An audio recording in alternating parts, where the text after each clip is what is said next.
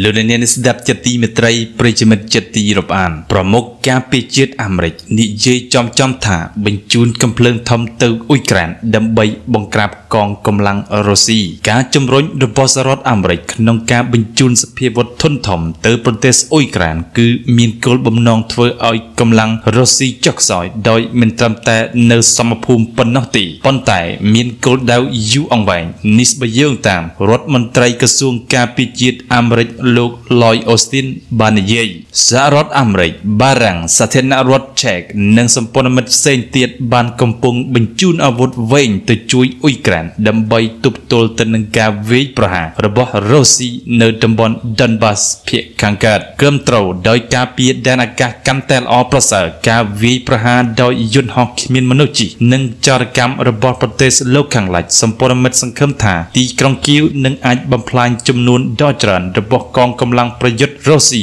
នៅក្នុងសមភូមិដែលកំពុងផ្ទុះបន្ទាប់ពីវិលត្រឡប់មកពីទីក្រុងគៀវដែលជាទីកន្លែងបានជួបរដ្ឋមន្ត្រីការពារជាតិអ៊ុយក្រែននិងប្រធានាធិបតីអ៊ុយក្រែនរដ្ឋមន្ត្រីការពារជាតិអាមេរិកលោកអូស្ទីនបានប្រាប់អ្នកកាសែតនៅប្រទេសប៉ូឡូញកាលពីព្រឹកថ្ងៃច័ន្ទថាសេចក្តីសង្ឃឹមរបស់រដ្ឋាភិបាលក្រុងវ៉ាស៊ីនតោនគឺធំជាងនេះលោកបានប្រាប់ថាមែនទែនទៅរុស្ស៊ីបានបាត់បង់សមត្ថភាពយោធាជាច្រើន ហើយកម្លាំងទ័ពរបស់គេក៏បាត់បង់ច្រើនណាស់ដែរហើយយើងចង់ឃើញពួកគេមិនអាចផលិតឡើងវិញនៅសមត្ថភាពទាំងនោះឲ្យទាន់ពេលវេលាលោកបន្ថែមថាយើងចង់ឃើញរុស្ស៊ី ចុះខ្សោយដល់កម្រិតដែលខ្លួនមិនអាចធ្វើការវាយប្រហារលើអ៊ុយក្រែននេះជាការផ្លាស់ប្ដូរវិធីសាស្ត្ររបស់ទីក្រុង Washington ដែលពីដំបូងគ្រាន់តែជួយដើម្បីការពារវាយប្រហារដណ្ដើមកាន់កាប់របស់រុស្ស៊ីលើទីក្រុងគៀវនិងដើម្បីផ្ដួលរំរដ្ឋាភិបាលលោក